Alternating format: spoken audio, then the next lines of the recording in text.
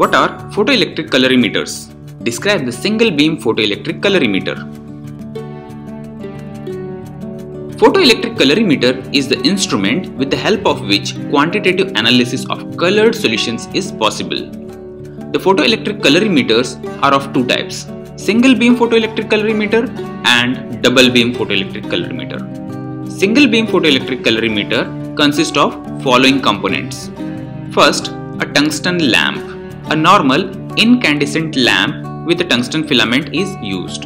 Second, a collimating convex lens. It collects the radiation from the source and transmitted radiation will be traveling parallel to the principal axis because the source is kept exactly at the focus of the lens. Then there is a diaphragm. The function of diaphragm is to set 100% transmittance. Next comes filter. It is in the circular disc which is made up of number of colored glass patches. When the light from the source is allowed to pass through the filter, the unnecessary radiations are absorbed and we get light of only one color. Next is sample holder or cuvette. It is a rectangular transparent container made up of glass or quartz. Then comes photocell. It is the component which converts the radiation into current. It converts the transmitted beam emerging from the sample into an electric current.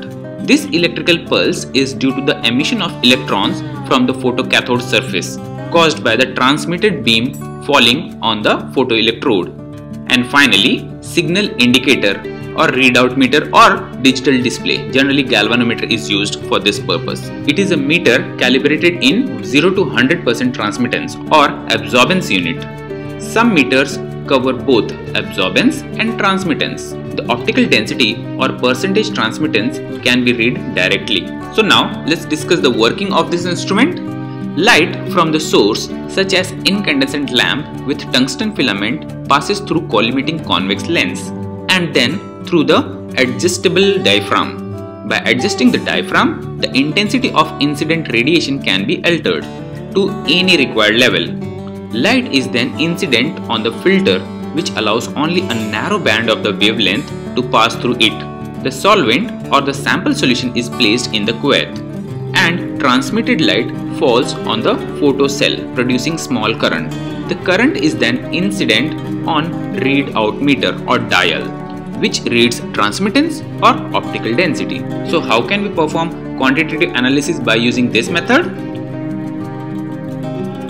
First, we take a blank solution that is solvent in the cuvette which has been properly cleaned and insert it in the optical path of the instrument. As it is a blank solution, therefore there will be no absorption and light is fully transmitted and then incident on photocell and galvanometer shows 100% transmittance. If there is any absorption due to impurities, this can be nullified by adjusting the reading of optical density to 0 or transmittance to 100%.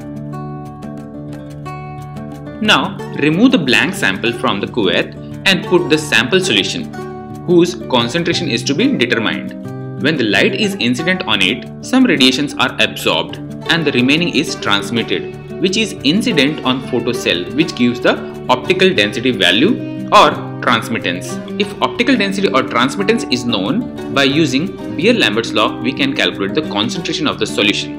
The Beer-Lambert's law is optical density is equals to absorbance is equals to log of I0 by IT is equals to minus log of T is equals to epsilon CL where epsilon is molar absorptivity coefficient is a constant and L is the path length which is also constant. Therefore, we can easily calculate concentration C.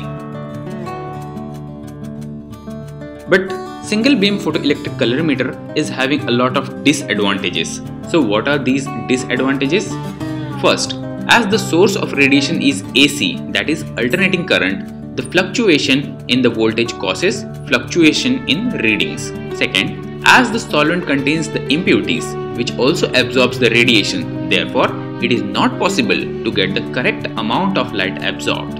Third, as filters are used which do not give 100% monochromatic light, therefore analysis is not accurate and has some errors. If you like this video, please click on the like button and also subscribe to my channel.